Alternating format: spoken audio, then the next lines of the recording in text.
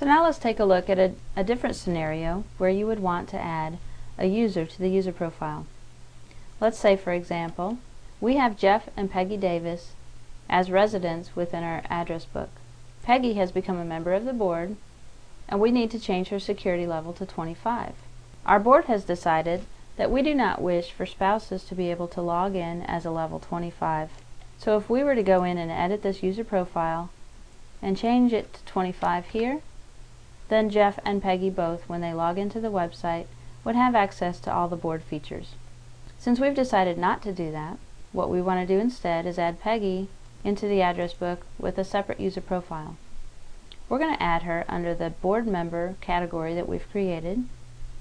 If you saw our other training video, this board member category was set up with a view security level of 25, so residents cannot see this category. We're going to add a new board member.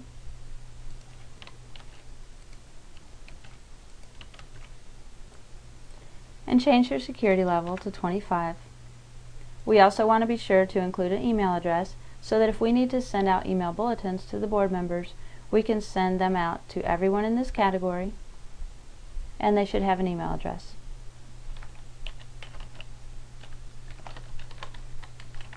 And that's all we need. Keep in mind that the login name must be unique. Each user profile has to have a unique login name. So we scroll to the bottom of the page and hit Save New. So Peggy has now been added to our board member category. Now you'll notice if we go down and do a search on the address book, and we're going to search for Peggy Davis,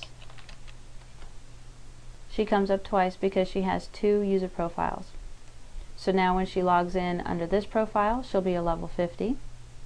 And when she logs in using this user profile, she'll be set at a level 25, so she will be able to view the board menu items and also have access to other modules or pages that are set up specifically for board members.